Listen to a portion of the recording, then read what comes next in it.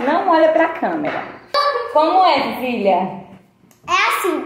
Olá, pessoal, tudo bem com vocês? Aqui que tá falando é a Tiara na... A melhor notícia da semana. Deu até um quentinho no coração, encheu a gente de esperança e um pouquinho de inveja. Na Argentina, o trabalho materno agora, tchararã, é considerado trabalho.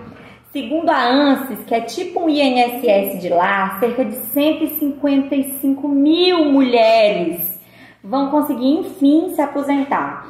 Elas saíram do mercado de trabalho para cuidar dos filhos e não conseguiram contribuir o período mínimo exigido lá, que são 30 anos. Então, mulheres de 60 anos ou mais que não conseguiu contribuir no mínimo 30 anos, vai ter direito a um ano de aporte por filho. Se for uma família com filho deficiente, que adotou ou que é assistida por programas sociais, esse aporte pode chegar em até 3 anos por filho. Uma importante medida que a Argentina tomou.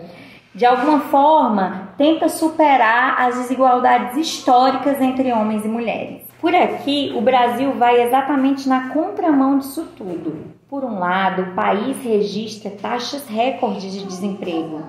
São mais de 14 milhões de desempregados e mais da metade são mulheres, em grande parte negras. Por outro lado, a reforma da Previdência aprovada por Bolsonaro dificulta e muito o acesso à aposentadoria. A Previdência se torna assim uma espécie de banco para mais ter lucro do que ajudar o povo brasileiro, sobretudo as mulheres por essas e por outras, que é muito importante para a família brasileira derrotar Bolsonaro. Fora Bolsonaro. A notícia da semana. Não, esse não. A mamãe tá gravando, ó. Mamãe...